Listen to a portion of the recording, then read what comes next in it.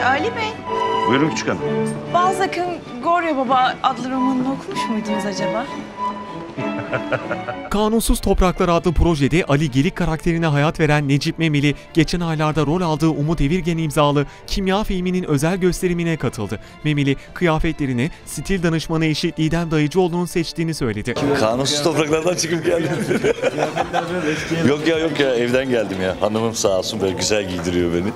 Ee, nasılsınız iyi misiniz? Teşekkür ederiz. Nasılsınız? Eyvallah. Filmimize hoş geldiniz Kimya'ya. Eyvallah çok teşekkürler. Ya çok keyifli çok güzel bir film. Umut'la beraber benim ilk filmim. Umarım sonda olmaz. Çok da film olacağına inanıyorum. Çünkü çok keyifli bir set ortamı.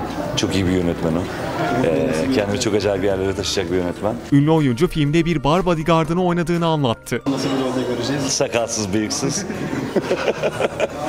Burada böyle küçük, e, güzel bir bar bodyguardını oynadım. Ee, çok da eğlendim. Bakalım ben de izleyeceğim ne yapmışım, ne etmişim. Vallahi ben de ilk defa izleyeceğim. O yüzden ben de heyecanlıyım yani bayağı bayağı. Necip Memeli, 10 yıl sonra yeni dizisi Kanunsuz Topraklar için sakallarını kestiğini belirtti. Sakalları proje olunca kestirdiniz mi? Evet Çocuk ya. olunca kestirdiniz. Yok yok çocuk olunca değil. Öpünce biraz O- daha- 10 yıldır onları taşıyordum. Artık onlara veda etme zamanı gelmişti. Kanunsuz Topraklar diye bir işe başladım ben. Ee, 1940 ona uygun bir şekle şemale girdik. O yüzden sakalda gitti. Ben de sevdim vallahi. Keyifli, güzel. Oh be tertemiz. Memeli, geçen yaz Çukur dizisinin hemen ardından Cem Yılmaz'ın Erşan Kuneri adlı dijital dizisine konuk olmuştu. Ben e, çalıştım birazcık. Ailecek de bir tatil yaptık yani. Ya bir küçük tatil yaptık ama ailecek kısmı şöyle. Ben ailemin yanına git gel yapmak zorunda kaldım. Çünkü e, şey dizi bittiğinde Haziran sonuydu. Bir 10 gün kadar Bodrum'da kaldıktan sonra Cem abinin Erşen Kuneri belki biliyorsunuzdur. Ona geldim.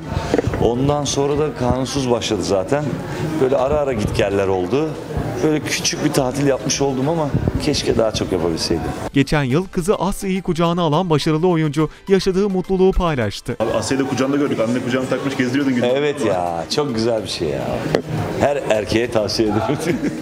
ee, kızımla aram çok iyidir. Onunla vakit geçirmek çok keyifli. O yüzden sık sık e, dışarı çıkıyoruz. Ya da ne bileyim sabahları ben kaldırıyorum kahvaltı falan. O seni kaldırmıyor. Yo yo yo. O beni kaldırıyor. Doğru. öyledir Do- ya. doğru doğru. Onun gürültüsüne uyanmak çok keyifli. Ee, Onunla vakit geçirmek çok güzel ya. İyi yani. Hmm, ne bileyim ilginç bir kız. İlginç bir deneyim.